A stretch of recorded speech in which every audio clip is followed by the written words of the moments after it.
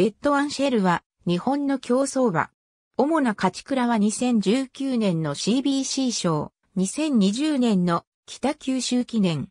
馬名の由来は、冠名フランス語で、空。大空を羽ばたくかのような走りを期待して、2014年4月9日に、北海道阿ビラ町のノーザンファームで誕生。株式会社東京ホースレーシングより、総額2800万円で募集された。ノーザンファーム空港牧場で育成された後、栗東の庄野靖志厩舎に入厩した。8月20日札幌の二歳新馬戦に出走し、断然人気に応えてデビュー勝ちを飾った。続いて出走したオープン特別のもみじステークスも2着に一馬身半差をつけて2連勝とした。さらに無傷の3連勝を目指して重賞初挑戦の朝日杯フューチュリティステークスに出走したが8着に敗れて、無敗で GI 制覇とはならなかった。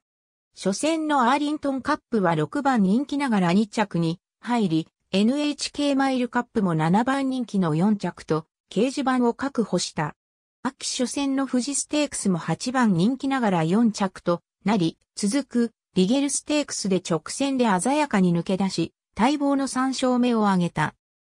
なお、リゲルステークス当日は、安城、福永雄一の誕生日だった。小馬初戦の中山金杯は一番人気に押されたが3着。続くダービー今日チャレンジトロフィーは2番人気の7着となった。